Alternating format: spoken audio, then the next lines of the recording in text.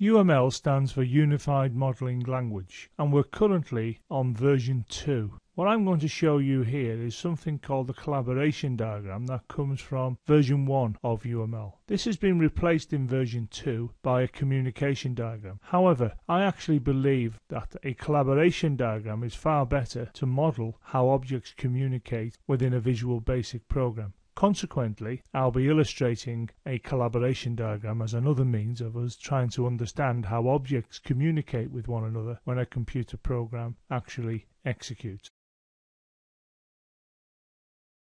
Let's look at the component parts that make up a collaboration diagram. Firstly, what we can see here is we have a rectangular box and inside the box we have the word class A. Now this simply represents a class. So if we wish to refer to a class in the collaboration diagram, this is how we would actually do it. We would have a rectangular box with the word class A in it or whatever the name of the class happened to be.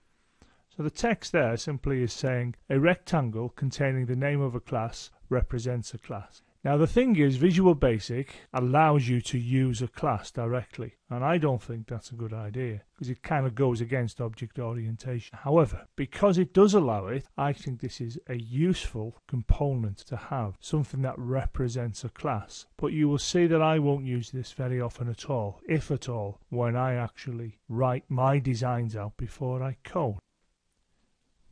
Here we've got a rectangle again, but this time we have class A and a colon and all of it has been underlined. Now what this represents, if we were to see this in the collaboration diagram, would be an instance of class A, in other words an object. But this is a particular kind of instance. This is an object that doesn't have a name. Now we've really seen this already. When you start a Windows form application in Visual Basic, you get the first form by default when you run the program. And we don't know what the name of that is. We weren't responsible for giving it a name. So this is useful for those type of occasions. So if we look at the text associated with this, it says a rectangle containing the name of a class, a colon, as we can see, and is all underlined, well that represents an unnamed instance of the named class that we see before us. In other words, this is an object of class A that we don't know the name of. If we have a look at this one here, this again is a rectangle and inside we have the text, class A again, there we can see the colon, and before the colon we can see it says object name, and all of it's underlined. Now this is an instance of class A that has the name object name, and therefore we can look at the text for this one, and it says a rectangle containing the name of a class, the name of the object either side of a colon, and is all underlined, then that represents a named instance of the class we can see before us. So this is a named instance of class A. This here is something that allows us to write some notes about a collaboration diagram that we have drawn. So in other words, it's just like a comment in a program. I can put some text in this area and that's quite handy if I want to convey something to my fellow colleagues when we're designing a particular program. So we can see here this shape represents a way of commenting on a diagram and it's quite simply referred to as a note. If we look at them all side by side, we can see the first one here represents a class. This one represents an unnamed instance of the class, i.e. an object, an unnamed object. This one here represents a named instance of the class, i.e. a named object. And this one is where we can put notes about any diagrams that I wish to draw.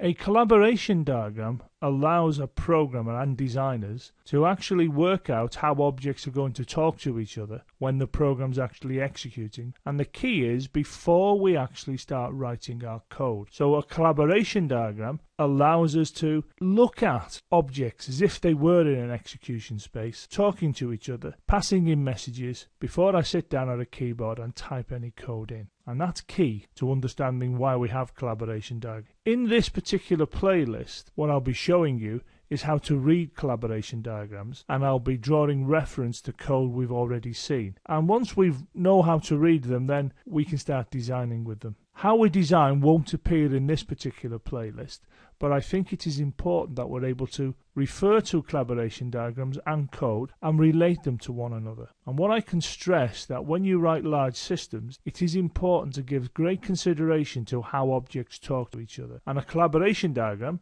and to be fair, the new communication diagram allows you to do this. Just that I have a preference for a collaboration diagram. And it's highly likely that the ones we'll be using are these two here. This one, which is the unnamed instance of class A, and this one which is the name instance of class A.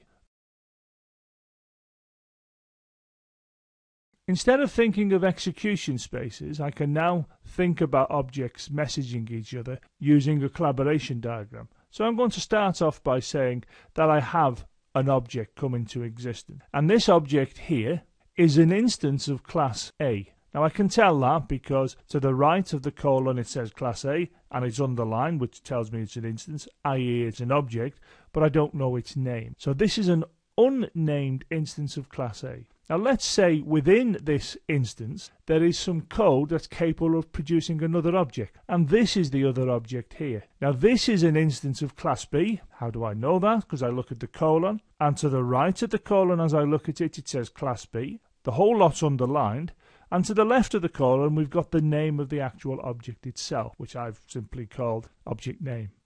The instance of class A produce this instance of class B. Consequently, we have what's called a line of visibility between them, as you can see here.